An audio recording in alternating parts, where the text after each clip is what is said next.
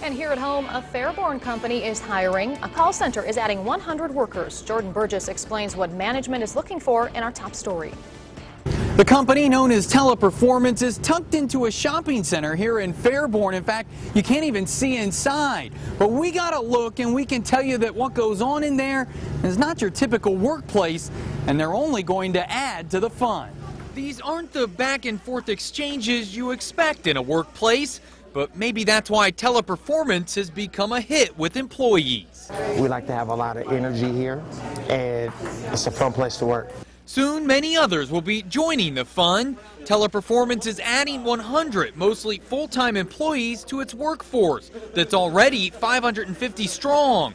The new hires will find themselves at a company that takes its breaks as seriously as its work. Uh, our break rooms are equipped with uh, cable TV. We have games, so you can take a separation from, from work and, and have fun and actually take a break. Once it's back to work, employees spend their time taking calls from people who need help with something. Other companies contract with Teleperformance to handle those questions from their customers.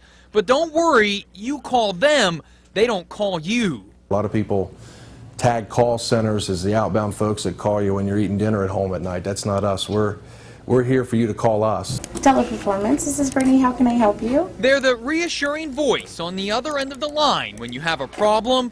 Now they're helping people with an economy that hasn't been working for them. We're growing and we want to let people know that they can grow with us. And we have a link on our website, WDTN.com, to Teleperformance's website where you can apply for one of those 100 jobs. Jordan Burgess, 2 News.